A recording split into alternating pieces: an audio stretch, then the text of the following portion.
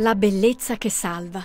Avrebbe potuto essere questo il titolo della mostra che celebra il fashion photographer Norman Parkinson a 30 anni dalla morte. Quasi una passeggiata onirica tra 70 foto che hanno soprattutto donne tra le protagoniste, in un mondo di eleganza e stile.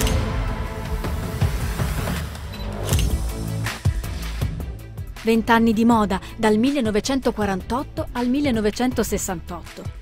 Mi piace far sembrare la gente bella come vuole apparire, anzi, con un po' di fortuna anche un pochino meglio. Diceva così l'eccentrico fotografo britannico che ha fissato nei suoi scatti un mondo in trasformazione. Il set è la Fondazione Bisazza, spazio dell'azienda vicentina un tempo dedicato alla produzione e ora riconvertito all'arte. Gli scatti non solo testimoniano il cambiamento durante quei due decenni della moda femminile e dell'estetica, ma raccontano, eh, secondo me in una maniera anche molto suggestiva e affascinante, il cambiamento della società, il cambiamento dei costumi, del nostro modo di, di vivere, il modo di atteggiarsi, eh, del viaggiare. Dalle modelle del New Look di Christian Dior, che nel dopoguerra celebrava l'ultrafemminilità, alle ragazze allegre e sfrontate della Swinging London di Mary Quant. Passando per le numerosissime foto a Wenda, la moglie e musa ispiratrice, pose diventate mito tanto da essere chiamate parkinsoniane. Quello che Norman Parkinson fotografava per le grandi riviste di moda, da Vogue a Harper Bazaar, non era un modo di vestire, ma una nuova libertà di espressione.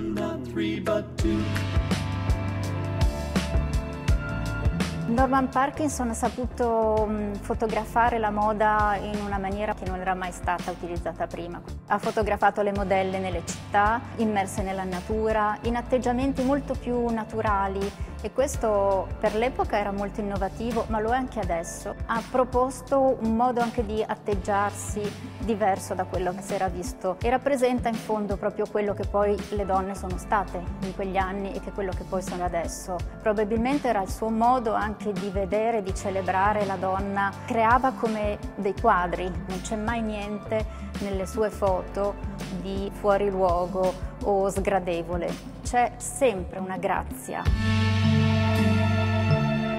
Oltre a Parkinson sono esposti altri quattro grandi fotografi, tutti con uno sguardo innovativo sulla moda e sul costume dell'epoca. Terence Donovan e Terry O'Neill, inglesi, hanno un approccio informale, addirittura rivoluzionario, nel raccontare l'avanguardia londinese. Milton Green, americano, è passato alla storia per aver realizzato oltre 3.000 ritratti di Marilyn Monroe. Il suo connazionale Jerry Schatzberg, l'unico ancora vivente, oltre che regista è autore di iconici ritratti. Glamour, city style, vestiti da sera e molto altro. Composizioni perfette, ma non statiche, anzi, che trasmettono tanta vita. Difficile farsi rapire da una sola foto in mezzo a tanta varietà e bellezza. Quella che forse sceglierei per me, per portarmi a casa, è quella che si chiama proprio The Art of Travel, una modella che si avvicina a un aeroplano, che indossa un abito da viaggio con una beauty, uno stile un po' altero. Mi ricorda un po' Casablanca, ma è sicuramente la foto che mi piace di più, come vorrei essere. Io credo che cioè, questo tipo di, di, mostre possano servire eh, per quanto poco, per quello che possiamo, a, come si dice in inglese, lift the spirits. Suona come un augurio, a volare alto, sempre, anche senza l'aereo.